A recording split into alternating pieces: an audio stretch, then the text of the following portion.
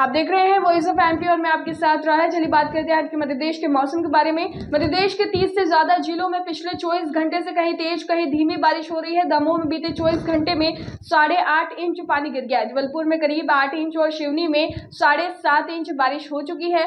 नवदापुरम में तवा डेम के तेरह में से नौ गेट, बारगी बाँध के इक्कीस में से सत्रह, हलाली डैम के पाँच और मणिखेड़ा डैम के चार गेट खोले गए हैं। दमोह में घरों में पानी भर गया। टीकमगढ़ और शिवपुरी में भी सड़कें डूब चुकी है। विदिशा में कई रास्ते बंद है। मौसम विभाग ने बुधवार को विदिशा, रायसेन, सीहोर, नवदापुरम, हरदा, गुना और अशोकनगर में अति भारी बारिश का रेड अलर्ट जारी किया है।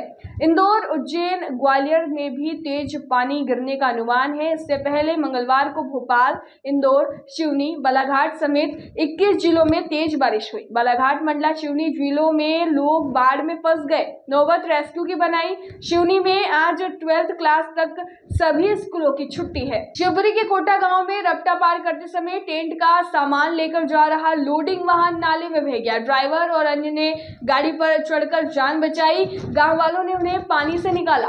लोडिंग वाहन में केंद्रीय मंत्री ज्योतिरादित्य सिंधिया के कार्यक्रम के लिए टेंट का सामान ले जाया जा रहा था। बारह सितंबर को हाथोद पंचायत में पीएम जनमन आवास कॉलोनी का उद्घाटन होना है। आगे जाना मध्यप्रदेश का मौसम अपडेट। लगातार ऐसी जानकारियों के लिए बने रहिए वॉइस ऑफ़ के साथ।